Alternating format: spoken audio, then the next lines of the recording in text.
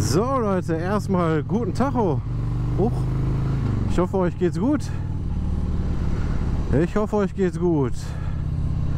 Oh, die ist gerade noch ein bisschen zickig. Endlich mal wieder geiles Wetter. Welches wir schon lange nicht mehr hier hatten. Ich glaube gestern war der erste Tag, wo es mal wieder so richtig trocken war. Heute endlich mal Sonne. Ich weiß nicht, irgendwie 24 Grad oder so. Ich hatte schon echt Entzugserscheinung und Motorraddepression oder wie man das nennt. Keine Ahnung. Ja, ich glaube zwei Wochen gab es jetzt kein Video oder vielleicht sogar drei Wochen. Ich weiß nicht genau, wann ich das schaffe, hier hochzuladen. Ähm, aber naja, so ist das manchmal. Ja. Ja, irgendwie läuft dieses Jahr alles nicht so, wie ich mal Anfang des Jahres in einem Video erzählt habe. Die ganzen Pläne und so, die ich hatte. Einiges davon, ja, habe ich nicht geschafft und werde ich auch nicht schaffen. Oder ich mache halt andere Sachen, aber das Jahr ist ein bisschen verflixt, würde ich sagen. Und äh, ich habe weniger gestreamt, weil ich den Kopf nicht hatte dafür. Ich habe teilweise, ja, auch wenn ich die Zeit und, und das Wetter gehabt hätte, keine Videos hierfür gemacht. Also hier für, für euch einfach auch eine schöne Harley. Weil ich den Kopf dafür nicht hatte. Ja, dann ein bisschen der Mercedes gemacht und so. Und das Video wurde von euch jetzt nicht so stark angenommen. naja, so ist das. Egal. Weiß ich gar nicht, ob ihr da überhaupt Bock drauf habt, wenn ich noch mal so ein paar Schrauber Sachen von dem Mercedes mache. Das wird ja irgendwie gefühlt gar nicht angeguckt. Jetzt fährt er erstmal und äh, ja, irgendwie ist komisch zu fahren gerade, weiß nicht. Ja, bin lange nicht gefahren. Locker einen Monat, wenn nicht sogar länger, bin ich kein Motorrad gefahren. Ich glaube, das letzte Mal bin ich gefahren oder so gut wie das letzte Mal, als äh, was Thunderbike hier äh, Joker Fest war. Guck mal, ey, das ist ja echt schon lange her. Ungefähr da bin ich das letzte Mal gefahren. Ja, in der Zeit hat sich auch viel verändert bei mir. Privat zumindest. Über einiges kann ich noch nicht sprechen, über einiges will ich gar nicht sprechen. Ja, ich habe einen neuen Job. Ich habe mich einfach mal nach langem Quälen, muss ich ganz ehrlicherweise sagen, ich habe mich sehr lange gequält im alten Job. Ähm, körperlich mal ja, mal nein. Aber äh, der Kopf hat sich gequält. Einfach, wie soll ich sagen, mangelnde Wertschätzung auf der Arbeit. Ich bin drei Jahre hinterhergerannt wegen der Lohnerhöhung, die mir versprochen wurde. Und äh, man musste mit kaputten Materialien arbeiten, mit kaputten Maschinen und äh, ja, friss oder stirb, so nach dem Motto. Ähm, was sehr, sehr, sehr, sehr schade war, wenn ich, weil wenn ich jetzt äh, noch nur zwei Jahre zurück überlege, äh, überlege, war es nämlich nicht so. Bis dahin war alles, war so ein schönes Arbeiten dort, wo ich vorher war. Und äh, von jetzt auf gleich, ja es, fing, ja, es fing ungefähr an, als Corona dann langsam kam und dann wurde so ein Teil der Führungsebenen ausgewechselt und da, ich weiß nicht, was das letztendlich der Auslöser war, aber auch äh, in der Schicht und so hatten wir vorher ein sehr, sehr, sehr gutes Arbeitsklima, auch wenn mal stressig war. Weil der vor mir schleicht aber auch hier richtig. Sag mal, darf der nicht schneller fahren als 40? äh, ja, hatten wir es richtig gut und äh, auch da wurde es halt immer kniesiger, würde ich sagen. Nicht, weil man sich nicht mag oder so, aber einfach, weil wir komplett überfordert waren und da hatte ich einfach gar keinen Bock mehr drauf. Das andere Ding ist, was mir auch schon ziemlich lange gestört hat, aber das hat man so hingenommen, der weite Arbeitsweg. Ich bin jeden Tag 50 Kilometer hin und 50 Kilometer zurückgefahren. Und äh, wenn du dann Frühschicht hattest und du willst dann ja hier am Ruhrport nach Hause fahren, dann hast du die Arschkarte. Dann je nachdem welcher Wochentag ist und äh, ja spätestens freitags brauchst du zwei Stunden, zweieinhalb Stunden nach Hause. Und da hatte ich absolut keinen Bock mehr drauf. Und ähm, Deswegen habe ich mich dann einfach mal direkt hier, also Ich glaube, näher an mein Zuhause dran kann ich gar nicht arbeiten. Ich könnte theoretisch mit dem Fahrrad hinfahren. Und äh, bin jetzt zwei Wochen da. Wir haben heute den 10.8. Ja, zum 1.8. habe ich angefangen. Und äh, klar, erstmal bin ich natürlich begeistert, weil alles ist anders. Alles ist sauber, man steht nicht mehr im Staub, man steht nicht mehr im Dreck. Im Vergleich zu meinem alten Job jetzt. Natürlich, überall wo gearbeitet wird, fallen Späne. Muss ich ja niemandem erzählen. Aber äh, der erste Eindruck ist auf jeden Fall positiver als da, wo ich aufgehört habe. ähm, ich will es jetzt nicht sinnlos in den Himmel loben. Ich muss erstmal meine Zeit da, jo, meine Erfahrungen machen. Und ähm, ja, natürlich hat auch der finanzielle Aspekt eine Rolle gespielt. Ähm, ich erzähle euch mal, was letztendlich der, der letztendlich, also der, also eigentlich gab es natürlich viele Dinge an meinem alten Job, die mich gestört haben, zum Beispiel der Arbeitsweg. Ich wusste es natürlich vorher, aber äh, trotzdem war es natürlich auch ein Weltunternehmen und ähm, es war natürlich ja vorher auch schönes Arbeiten. Und wenn das Arbeit schön ist und man mit den Kollegen gut auskommt, dann nimmt man auch mal eine Strecke in Kauf und ja, dann beißt man auch schon mal die Zähne zusammen, wenn man ein bisschen länger nach Hause braucht oder ne, wie auch immer. Dann kann man halt über vieles hinwegsehen. So, dann wenn aber auch etwas versprochen wird, was nicht eingehalten wird, wie eine Lohnerhöhung zum Beispiel, auch wenn es nicht viel gewesen wäre, aber trotzdem ist das ja so ein bisschen Anerkennung und Wertschätzung, die der Arbeitgeber auch den Arbeitnehmer bringen sollte und das ist absolut überhaupt gar nicht mehr passiert. Also das war jetzt die letzten Jahre, war es absolut gar nicht mehr. Egal wer dort aktuell noch arbeiten geht, hat absolut keine Lust mehr auf den Bumseladen da. Was natürlich ziemlich schade ist und traurig ist und auch nicht gerade für den Arbeitgeber spricht. Aber es ist halt aktuell so. Sehr, sehr, sehr viele sind gegangen. Ähm, das sind aber auch immer so Dinge, die liegen halt auch immer im Auge des Betrachters. Wenn ich jetzt, äh, ich bin jetzt zwei Wochen in der neuen Firma und klar, die Belegschaft dort ist dreimal größer. Also wir reden hier von knapp 700 Mitarbeitern oder so. Ähm, da hörst du auch, ja, der geht und da sind viele gegangen und mussten neue eingestellt werden. Aber wenn man jetzt mal so die, muss man auch die Relation der Größe mal so im Hinterkopf behalten, aber egal. Ähm, auch da kommt es vor und auch da ist der ein oder andere nicht zufrieden ist halt auch immer so ein persönliches Ding. Ne? Das heißt ja auch nicht, nur weil ich jetzt unzufrieden mit meinem alten Job war, dass das jetzt jeder sein müsste, der da noch arbeitet. Da wird es noch den einen oder anderen geben, der dort gerne hingeht.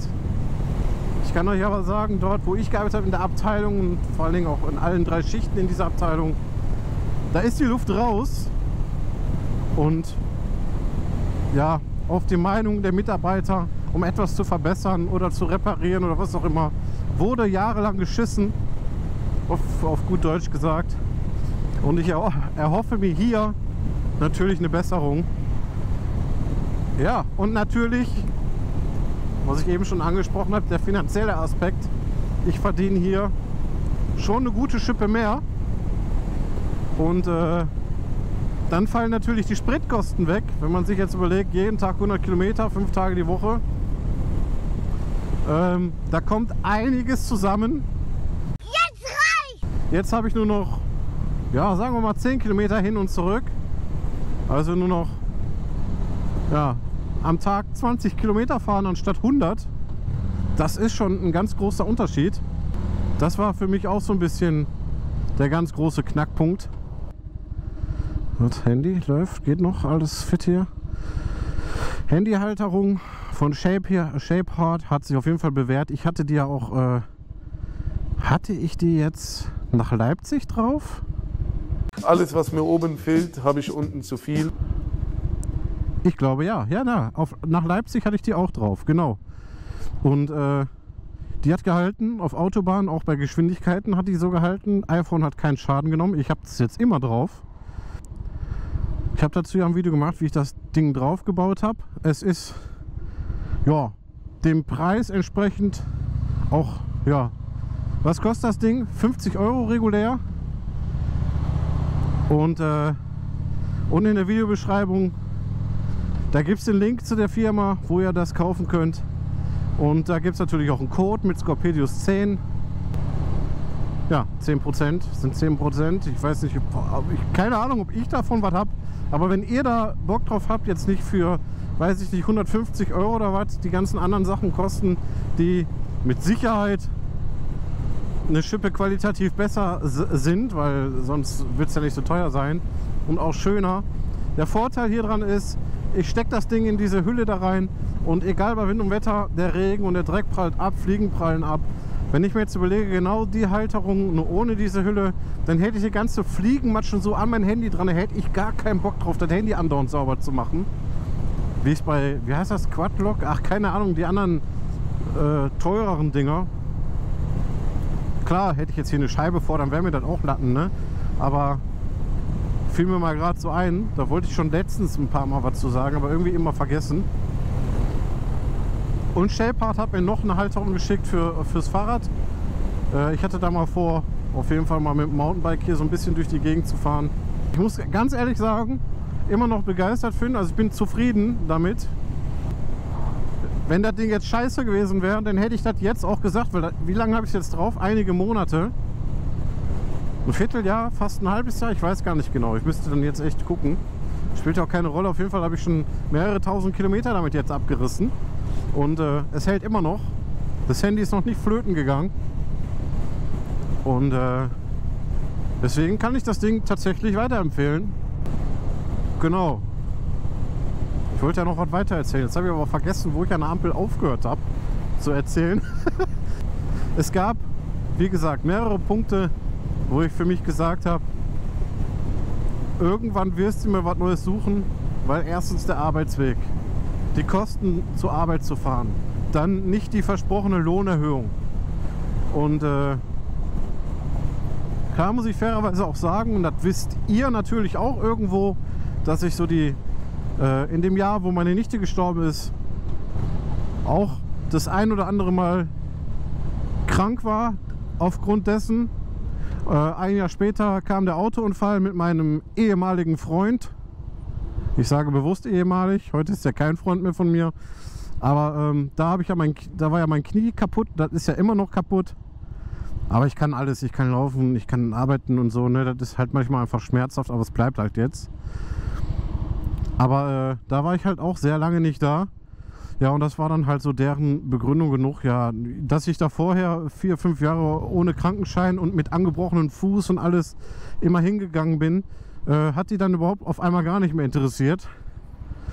Aber egal, dann ist das jetzt halt so, ich habe halt meine Konsequenz, ja warte, genau, bis ich die Konsequenz gezogen habe, ist ja echt viel passiert. Oder habe ich mir viel gefallen lassen, sagen wir mal so. Arbeitsplätze wurden so ein bisschen geändert, Leute wurden abgezogen, man muss doppelte Arbeit mit der halben Belegschaft machen. So das Typische, was glaube ich äh, gefühlt in jeder größeren Firma passiert ist, als Corona kam. Weil man hörte das dann von allen Seiten. Und genauso ist es bei uns natürlich auch passiert. Und äh, ja, dementsprechend konnte man nicht mehr die, die, die gewohnte Qualität fahren, die wir vorher hatten. Und äh, damit war ich auch nicht einverstanden. Auch dass so viel Lebensmittel weggeschmissen wurden hatte ich, äh, war mir auch so ein bisschen Dorn im Auge. Und andauernd wurde es angesprochen von allen von uns.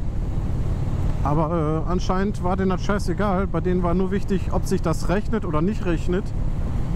Tja. Ist halt auch immer so ein Ding, ne? Ja, und dann irgendwann habe ich, ich habe mich halt immer öfters und immer mehr beschwert und das Gespräch gesucht und irgendwann bin ich dann mal, ich will nicht sagen ausgerastet, aber ich bin dann auch zu einer Vorgesetzten gegangen, die dann da jetzt auch im Büro saß und Schichtführerin war. Und warte, ich erzähle sofort weiter, wenn ich hier, wenn die Ampel. Ich habe keinen Bock im Stehen zu erzählen. Es gab dann einen ganz bestimmten Auslöser, wo ich echt dachte, jetzt verstehe ich die Welt nicht mehr, jetzt verstehe ich meinen Arbeitgeber nicht mehr. Ich bin dann, ich hatte Nachtschicht und ähm, ja, wir mussten in den letzten Jahren gefühlt, ja doch in den Jahren, auch in den letzten zwei Jahren, mit immer mehr kaputt, kaputten Arbeitsmaterial arbeiten. Und äh, so nach dem Motto, friss oder stirb. Du machst das jetzt oder hast halt Pech. Äh, mit kaputten Anlagen. Und also dann auch mit zu wenig Leuten. Und irgendwann ist mir dann mal die Hutschnur geplatzt auf einer Nachtschicht, weil ich es auch einfach körperlich nicht mehr geschafft habe. Also es gab einen Tag, da habe ich einen Job gemacht, der sonst eigentlich klar, man musste arbeiten, aber es war nicht so, dass du dich halt kaputt gemacht hast vorher. Und dann irgendwann fing es halt an, dass du das alles alleine machen musstest. Und dann hast du es einfach nicht mehr geschafft. Du warst teilweise am Dauersprinten. Ich bin, ich bin dann eine halbe Stunde außer Atem gewesen. Irgendwann auch, klar, wenn du Nachtschicht hast und so weiter, dann ist natürlich auch noch Kreislauf und so weiter alles noch so, so kommt dann alles hinzu, weil das ja körperlich mehr belastet. Und dann irgendwann ging es halt so weit, ich hatte halt Schmerzen in der Brust und so weiter. Das ist jetzt auch schon einiges her, aber ich glaube, ich habe auf Instagram mal ein Foto hochgeladen, wie ich im Krankenhaus lag. Auf jeden Fall bin ich zusammengeklappt und äh, ja, dann haben sie einen Krankenwagen gerufen und dann bin ich ins Krankenhaus für den, für den Tag. Und dann habe ich mich, glaube ich, ja, danach ist Gott sei Dank nichts Schlimmes gewesen war halt Kreislauf. Es war halt einfach komplette Erschöpfung. Komplette Erschöpfung. Und äh, ja, da ging halt gar nichts mehr bei mir. Und ähm, ich bin eigentlich doch ein zäher Bursche. Klar, ich glaube, natürlich spielt auch mit bei, wenn man sich noch zusätzlich reinsteigert, wenn man sowieso schon geladen ist und wenn auch drumherum vielleicht privat auch einiges nicht in Ordnung ist. Das sind alles Faktoren, die eine Rolle spielen. Und wenn du dann noch auf der Arbeit gehst äh, und einfach total ja, ausgebeutet wirst, ich weiß nicht, wie man das sonst sagen soll, äh, irgendwann ist halt vorbei. Und da war halt der Punkt. Das war, da habe ich schon gedacht, ja, das kannst du ja auch nicht mehr lange machen. Und dann nicht jetzt, glaube zwei, drei Monate später. Genau, da kommt der Punkt, den ich vorhin schon erzählen wollte. Bin ich halt ins Büro gegangen zu meiner Schichtleiterin, die eigentlich gar nicht auf meiner Schicht war, aber äh, die war halt diejenige, die halt morgens nach der Nachtschicht da so ein bisschen die Leitung hatte und äh, hab mir dann mal so ein bisschen von der Seele geredet und ähm, habe gesagt, ja, kann doch nicht sein, dass wir hier mit kaputten Sachen arbeiten müssen, mit so wenig Leuten und so viele Maschinen, die wir gleichzeitig bedienen müssen und das funktioniert doch alles nicht. Wir waren vorher doppelte Belegschaft in allen Bereichen und äh, also die Kamera spinnt. Entweder die Kamera oder die Speicherkarte bricht andauernd ab, die Aufnahme.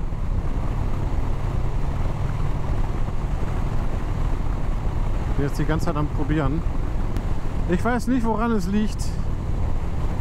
Okay, jetzt nimmt er erstmal auf. Dann kann ich ja versuchen weiter zu erzählen. Also war es dann so schlimm, dass ich auch das Gespräch gesucht habe auf der Arbeit.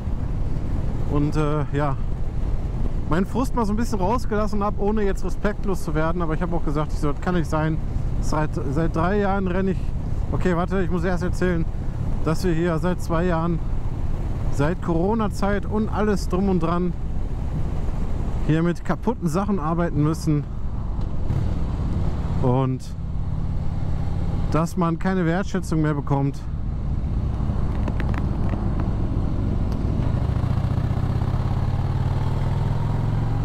Man komplett hängen gelassen wird. Ja, von der kompletten Firma, von der Führungsebene und so weiter. Das war halt alles richtig, richtig scheiße.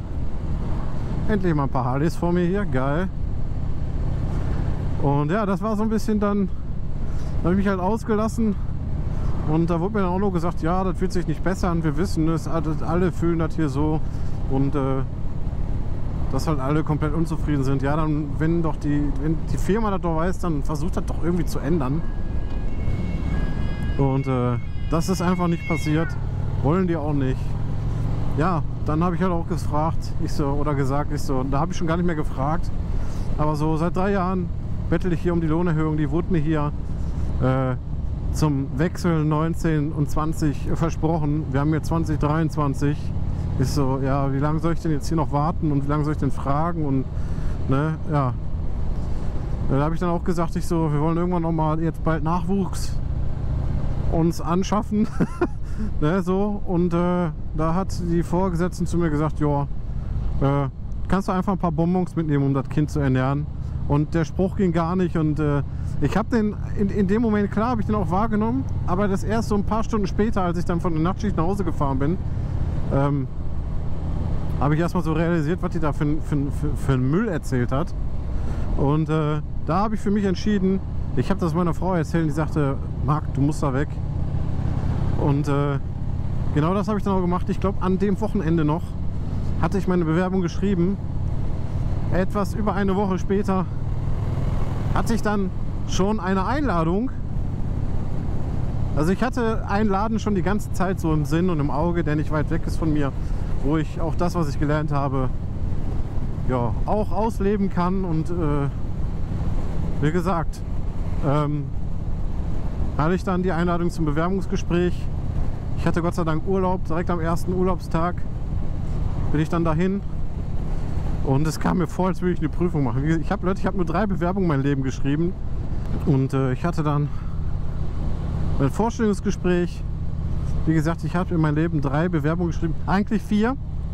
Als ich äh, meinen vorigen Job angenommen habe, hatte ich auch noch zeitgleich woanders eine Bewerbung geschrieben. Und den Job hätte ich auch haben können. Äh, also eigentlich habe ich vier geschrieben, aber jede, die ich geschrieben habe bisher, äh, habe ich auch die Zusage bekommen. Deswegen glaube ich, habe ich da einen ganz guten Schnitt. Ich habe zehn Jahre da gearbeitet, wo ich auch meine Ausbildung gemacht habe, bin dann woanders hingegangen, da wo ich jetzt aufgehört habe, ähm, weil ich dort einfach zu wenig verdient habe. Das war der einzigste Grund, weil die mir da einfach nichts bezahlen wollten. Und äh, das war wirklich sehr, sehr wenig im Vergleich zu auch jetzt schon vorher und auch jetzt erst recht. Das war gar nichts. Also da kannst du jetzt niemanden mehr mit, da kannst du dich selber noch nicht mal mehr füttern mit. Also es war ein Hungerlohn. Egal.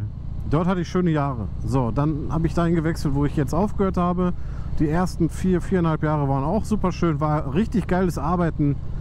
Äh, super Kollegen. Ich habe auch äh, den einen oder anderen Kollegen, mit dem, der bleibt der Kontakt. Ich habe dort zwei richtig gute Freundschaften, die auch auf Dauer äh, halten, bekommen. Einmal einen etwas älteren Herrn, der auch mit zu meinem besten Freund mittlerweile zählt. Und äh, wie so eine Art Onkel, weiß ich nicht, so als bester Freund, Onkel, Mix, sowas in der Art. Und jemand anders in meinem Alter, der auch, der schon vor, hat schon vor ein paar Jahren in den Sack gehauen, als das anfing so bescheuert zu werden. Äh, ist er öfters mit seinem Camper unterwegs, quer durch Europa und macht Weltreisen mit seiner Frau. So, das sind so die beiden Kontakte, die auf jeden Fall bleiben. Und äh, auch wenn man sich nicht täglich schreibt oder täglich sieht, das sind Freunde, die ich davon da, daraus gewonnen habe. Ähm, ja, und halt, egal, das mal so am Rande. Ich erzähle immer so ein bisschen durcheinander, aber ich hatte irgendwie das Bedürfnis, das zu erzählen. Was ist los? Hast du eine Pizza im Horchlappen? Ähm, ja, egal. Dann hatte ich jetzt das Vorstellungsgespräch und äh, das war das erste richtige Vorstellungsgespräch, wo ich dachte, das hast du verkackt. Ich weiß nicht warum. Ich war irgendwie aufgeregter als sonst und irgendwie vielleicht auch, weil dieses Jahr bei mir sowieso alles nicht nach Plan lief und in meinem Umfeld und gesundheitlich vor allen Dingen auch bei dem einen oder anderen in meinem engsten Kreis. Zum Beispiel hat meine Stiefmutter Anfang des Jahres uns so einen kleinen Schock, sage ich mal, äh, ja, hinterlassen, der sich Gott sei Dank nicht bestätigt hat. hat. Und hier geht es auch gut. ein paar Wochen kann man schon fast sagen, hatte mein Vater bei dem Krankenhaus mehr oder weniger Routine, aber irgendwo anhand der ganzen Symptome und so wusste, da muss was mal am Herzen gemacht werden. Dann wurde es gemacht, dann ist da so eine Arterie geplatzt und der wäre beinahe gestorben. Äh, da war für mich echt so ein Punkt, jetzt das kann nicht noch, noch schlechter gehen und ein paar Wochen später ist noch jemand aus meiner Familie erkrankt und ich dachte, jetzt ist vorbei. Dann ist vor kurzem ein sehr, sehr guter Freund, auch wenn der weit weg gewohnt hat und äh, den ich auch aus meiner Motorradclubzeit kannte, äh, gestorben, hatte einen Motorradunfall. Äh, ich, ich konnte leider nicht, leider nicht zur Beerdigung gehen, weil einfach alles zeitlich nicht gepasst hatte und auch mit dem neuen Job und so weiter. Und ich habe da richtig dran, also die, die paar Tage habe ich richtig, war ich richtig fertig mit der Welt so, weil ich habe irgendwie das Gefühl, dass das immer, das hört sich komisch an, wenn man das sagt. Und ich denke mal, ihr kennt das auch da draußen. Ihr habt doch sicherlich Menschen, die ihr favorisiert, ne, die ihr die Guten nennt und dann habt ihr welche, die für euch komplette Arschlöcher sind und denen passiert nie was. Die haben, das Glück ist mit den Dummen, so kann man das sagen. Und so ist das aktuell bei mir dieses Jahr komplett. Das Glück ist mit den Dummen, mit den Leuten, denen du wirklich, ich will nicht sagen, du wünschst dir was Schlimmes, ne? Also das jetzt nicht, aber äh, dass die Leute, die halt, ich glaube, ihr wisst, was ich meine, ne? Und da habe ich halt dieses Jahr mega viel dran zu knacken gehabt. Und äh, ja, deswegen war ich vielleicht auch so ein bisschen, wie soll ich sagen, ängstlich will ich nicht sagen und vielleicht auch nicht gerade selbstbewusst will ich auch nicht sagen. Eigentlich bin ich schon ein sehr selbstbewusster Mensch im gesunden Rahmen, ohne jetzt überheblich zu sein oder so. Das sicherlich gibt es solche Momente auch, die hat bestimmt jeder mal, aber nicht, wenn du bei so einem Vorstellungs... Klar, du musst dich halt gut verkaufen können und ich hatte halt das Gefühl, das habe ich nicht gemacht und drei Tage später kriege ich die Zusage. Denke ich, okay, ja, also ich war mir nicht sicher. Ne? Also irgendwie fühlte sich das komisch an, aber wahrscheinlich auch, weil ich in dem Moment sowieso nicht gerade geistlich zu 100% fit war.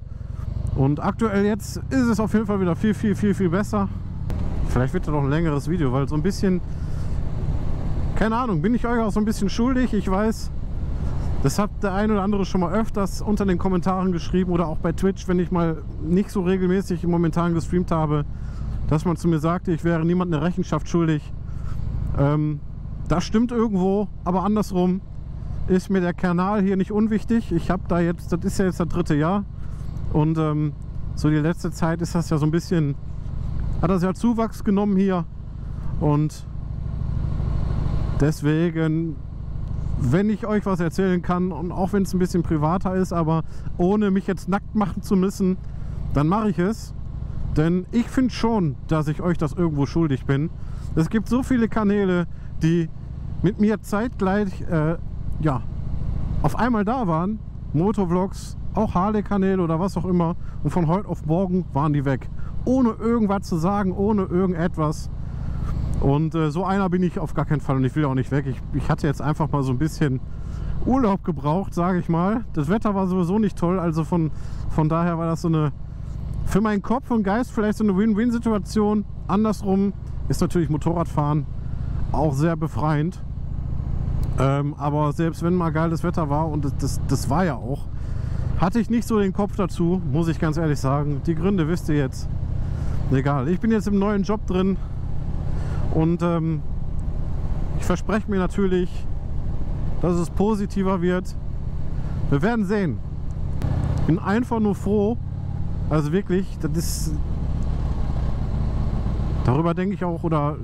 Also es fällt halt. Keine Ahnung, wie man sowas sagen soll, aber ich bin einfach nur froh, dass ich so eine Frau an meiner Seite habe, wie ich sie habe. Und äh, da ist etwas in meinem Leben, was ich zu 100% einmal komplett richtig gemacht habe. Es ist nicht so, dass ich nur Fehler machen würde in meinem Leben, aber das ist etwas. Und ich hoffe, ihr habt auch so eine Person in eurem Leben. Und äh, denn genau so eine Stütze ist wichtig. Wenn man komplett alleine ist, dann geht man unter. Leute, sobald jetzt wieder gutes Wetter ist, vielleicht mache ich jetzt im Anschluss gleich das nächste Video. Wir werden, ich muss mal überlegen, gucken, wenn die Kamera hält und was oder auch nicht. Ich habe so viele Themen. Ich habe ja eine Liste, ihr wisst das. Ich schreibe mir so vieles auf und ich komme eigentlich gar nicht hinterher mit, mit, mit Video drehen und bearbeiten, anstatt also als, als ich Ideen habe. Und Leute, bleibt gesund, haut rein, guckt meine Videos, Kanal abonnieren, Videos liken und so ein Kram. Ihr wisst das. Wenn ihr mich unterstützen wollt, dann macht das. Ich würde mich freuen. Aber ich freue mich sowieso schon, wie es hier alles läuft. Und selbst wenn man mal zwei, drei Wochen kein Video macht, ist irgendwo jemand, der meinen Scheiß guckt, was mich wirklich freut. Und äh, ja, Leute, dann sage ich, wir sehen uns im nächsten Video. Und äh, ja, genau, wir sehen uns im nächsten Video.